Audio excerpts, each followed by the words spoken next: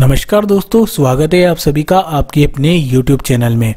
दोस्तों, आज की हमारी यह वीडियो खास तौर पर महिलाओं के लिए है, क्योंकि आज की इस वीडियो में आपको बताया जा रहा है कि पीरियड के दौरान आपको क्या खाना चाहिए। जी हाँ दोस्तों, पीरियड्स यानी कि मासिक धर्म महिलाओं में हर महीने होने वाली एक प्रोसेस है। इस दौरान उनमें थकावट और सुस्ती आती है।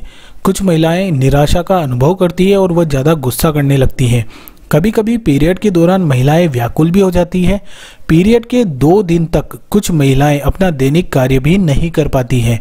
और तो और कभी कभी खराब सेहत और मतली होना भी इनके लिए इन दिनों में स्वाभाविक होता है। दोस्तों, पीरियड के दौरान अपनी अच्छी सेहत के लिए आपको संतुलित और भोजन, पौष्टिक भोजन करना आपके लिए ज़रूरी है। अगर आप पीरियड के दौरान स्वस्थ आहार लेंगी तो आपका स्वास्थ्य अच्छा रहेगा। तो चलिए आज की इस वीडियो में हम ऐसी ही कुछ चीज़ों के बारे में आपको बताएँगे, जिन्हें जिन्हें आपको मासिक धर्म के समय ज़रूर खाना चाहिए, या आहार ऐसे होते हैं जो आपको पीरियड के समय एनर्जी देंगे और पीरियड के दर्द को कम करने में भी सहायता प्रदान करेंगे। तो दोस्तों, ऐसे में, ऐसे आहार आपको लेने हैं जिनमें आयरन पाया जाता हो। जी हाँ पीरियड के समय बॉडी से बहुत ही ज़्यादा मात्रा में खून का बहाव होता है। शरीर से खून निकल जाने पर बॉडी दोबारा नया खून बनाती है। इसलिए नया खून बनाने के लिए आपको के शरीर को आयरन की सबसे ज़्यादा ज़रूरत पड़ती है। आयरन में शरीर बहुत जल्दी खून बना लेता है। वैसे भी आयरन युक्त खाना खाने से शरीर में खून की कमी नहीं होती है और आपका हीमोग्लोबिन भी बढ़ता है। साथ ही यह आपको कमज़ोरी भी नहीं होने देता है। यह आपको डिप्रेशन से भी बचाने में मदद करेगा।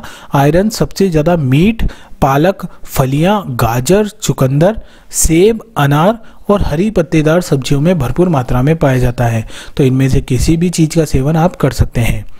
दूसरे नंबर पर जो आहार आपको लेने हैं, वो हैं विटामिन युक्त फल और सब्ज़ियाँ।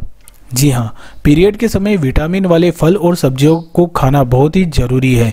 इसमें विटामिन ई के ज़रिए आप पीएमएस सिंड्रोम से छुटकारा पा सकती हैं। विटामिन ई e, अंडे की जर्दी और एवोकाडो में बहुत ही अच्छी मात्रा में पाया जाता है। विटामिन बी सिक्स ब्लाउटिंग को कम करता है। विटामिन बी सिक्स को आप आलू से प्राप्त कर सकती हैं। विटामिन सी प्रजनन तंत्र को मज़बूत बनाने में मदद करता है।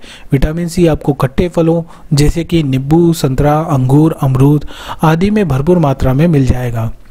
तीसरी चीज़ है डार्क चॉकलेट। जी हाँ डार्क चॉकलेट खाने से सेरोटोनिन नाम का हार्मोन बढ़ता है, जिससे आप डिप्रेशन से बाहर निकलती हैं, क्योंकि सेरोटोनिन मूड को अच्छा बनाने वाला माना गया है और यह आपको खुश कर रखने के लिए भी जाना जाता है। इसलिए मासिक धर्म के समय चॉकलेट को ज़रूर खाना चाहिए, डार्क चॉकलेट को खाना चाहिए, क्योंकि अक्सर मासिक धर्म के दौरान आप डिप्रेशन की शिकार हो जाती हैं और कभी कभी निराश भी हो जाती हैं। चॉकलेट आपको खुश रखने में आपकी मदद ज़रूर करेगी। अगली चीज़ आती है कॉम्प्लेक्स कार्बोहाइड्रेट को अपने आहार में शामिल करना। जी हाँ पीरियड के दौरान अपने खाने में सब्ज़ी, फल, अनाज जैसे कॉम्प्लेक्स कार्बोहाइड्रेट को ज़रूर शामिल करना चाहिए। आपको संतरा, खुबानी ज़रूर खानी चाहिए। पीरियड के दौरान अक्सर मीठा खाने की तीव्र इच्छा होती है। यह सब चीज़ों को खाकर आप इस पर काबू पा सकती हैं। तो ऐसे सिचुएशन में संतरा और खुबानी आपको ज़रूर खाना है। अब दोस्तों, आपको फैटी एसिड को अपने आहार में ज़रूर शामिल करना है।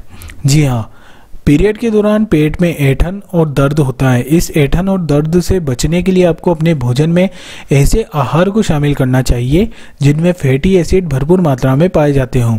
इसके लिए आपको लौकी, सूरजमुखी के बीज, मछली और पटसन, आप खा सकती हैं। इनमें लिनोलेनिक एसिड होता है, जो गर्भाशय के मसल्स को ढीला करने में मदद करता है, जिससे आपको पेट दर्द और ऐठन से आराम मिल जाएगा।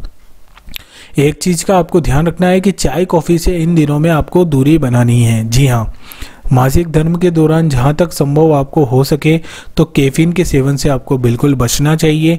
कैफीन चाय और कॉफ़ी में पाया जाता है। कैफीन पेट में एसिड की मात्रा को बढ़ाता है, जिससे पेट में दर्द होता ही है, और अगर पहले से दर्द है तो यह आपका दर्द और बढ़ा सकती है। लेकिन अगर आपको बहुत ही ज़्यादा कैफीन लेने का मन कर रहा है तो आप कॉफ़ी की बजाय चाय पी सकती हैं, लेकिन कम मात्रा में। कॉफ़ी के मुकाबले चाय में कम कैफीन पाया जाता है। तो दोस्तों, ये थी वो चीज़ें और वो एक बेहतरीन डाइट जो कि पीरियड के दिनों में आप इनका इस्तेमाल कर सकती हैं, इनका सेवन कर सकती हैं। जिससे क्या होगा कि एक तो पीरियड का दर्द भी आपको कम होगा और पीरियड के दिनों में ये चीज़ें आपके लिए बेस्ट रहने वाली हैं। तो उम्मीद करता हूँ आपको मेरी ये जानकारी और वीडियो अच्छी लगी होगी। अगर वीडियो अच्छी लगती है तो इस वीडियो को लाइक करें और अगर आप लोग नए हैं तो चैनल को सब्सक्राइब करके बेल आइकन को ज़रूर दबाएँ। वीडियो देखने के लिए और अपना कीमती समय देने के लिए आप सभी लोगों का बहुत बहुत धन्यवाद।